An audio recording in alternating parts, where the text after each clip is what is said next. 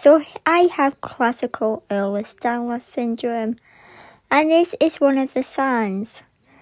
Loose, stretchy skin.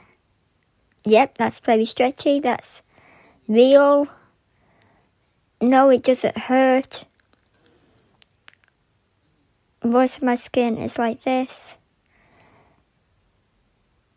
As a child, it would be quite amusing to show off, and it would help me make friends, believe it or not, because kids would never understood why, but they found it fascinating at the same time.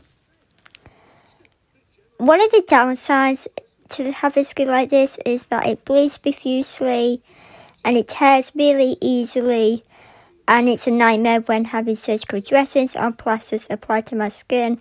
I've learned to ask to have alternatives as it pulls my skin and it really is painful.